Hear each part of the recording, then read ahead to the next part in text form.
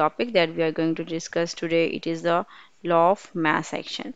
So let's have a look that what does mean by law of mass action and who just proposed these laws of related to the mass action. So basically in the year we have 1864 the two scientists whose name was or the two chemists whose name was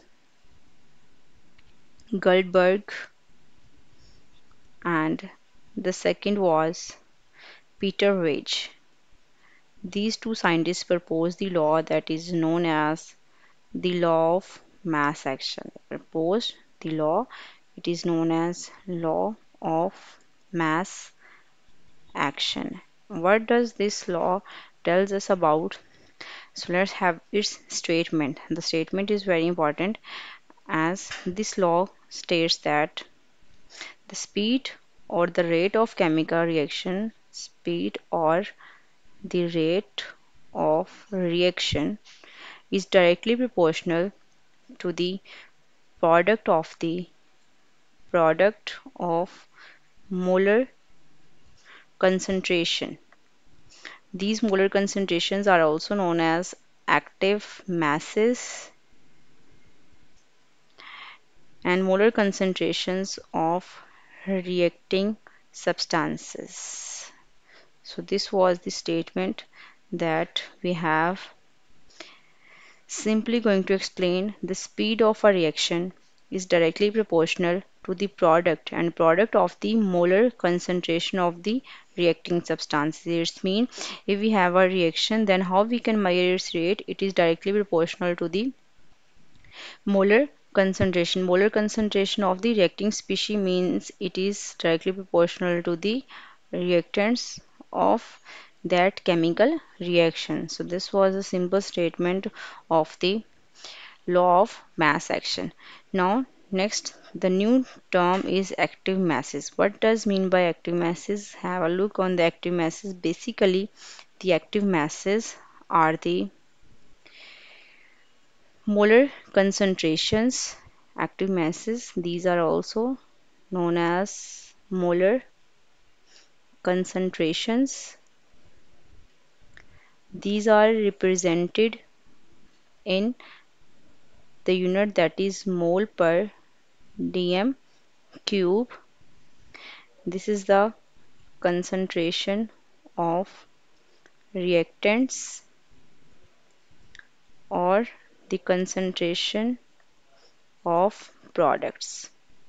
So when we explain the concentration of reactants or products or when we take concentration of reactants and products in mole per dm cube then these are known as active masses or the molar concentration of the substances and this we just take only for the dilute solution as well we can take it for the dilute solution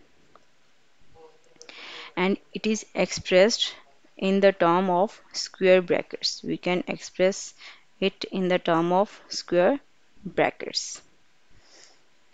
So the square brackets are like we have this. So we can take the active masses or the molar concentration in these square brackets and the unit is mole per dm cube. So this is the active masses. Next let's consider a reversible reaction that is going to explain the law of mass action. We have a reversible reaction in which a plus b are the reactants. These are the reactants and c plus d are the products. A plus b is going to change into the reactant. This reaction is known as the forward reaction. And when c plus d is going to change into a plus b this is known as the reverse reaction. So we have two reactions forward and forward and reverse reaction. So let's have a look on the explanation of the law of mass action. For example we have the active mass or the molar concentration molar concentration of A is equal to A and we have the molar concentration of B is equal to as B. So these are the reactants. Next, if we have the active mass or the molar concentration of C is like in the square brackets and then we have molar concentration of D that is in the molar concentration brackets or the active masses like D. So here we have basically four substances A, B, C and D in mole per dm cube. These brackets are going to show their concentration in mole per dm cube. So now according to the law of mass action, we have according to the according to law of mass action that was proposed by Peter Waage and C. M. Guldberg, law of mass action that the rate of forward reaction, the rate for the forward reaction is directly proportional to the molar concentration of reactant A or the reacting species A and B. And then if we have the removal of this proportionality constant, then we can gain the rate of the forward reaction now is equal to the Kf, where Kf is the proportionality constant. Kf into A and molar concentration of B. So this is the product of reacting substances.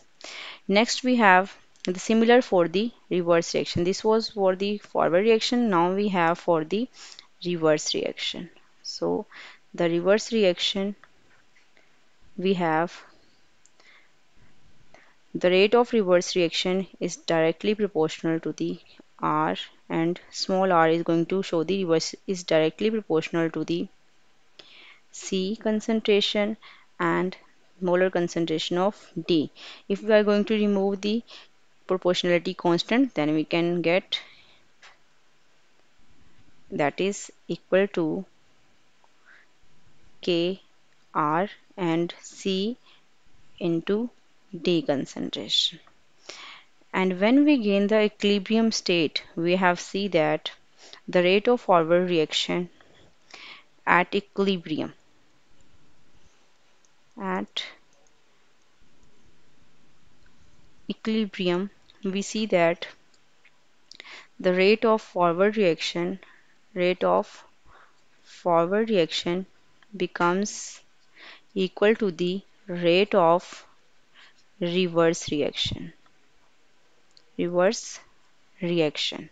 So therefore we can write it as RF is equal to RR where RF from the previous section we have KF A concentration a molar concentration of B it is equal to